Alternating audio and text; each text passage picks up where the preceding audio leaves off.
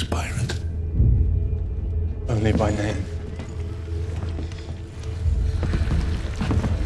Find Sparrow for me and relay a message from Capitan Salazar and tell him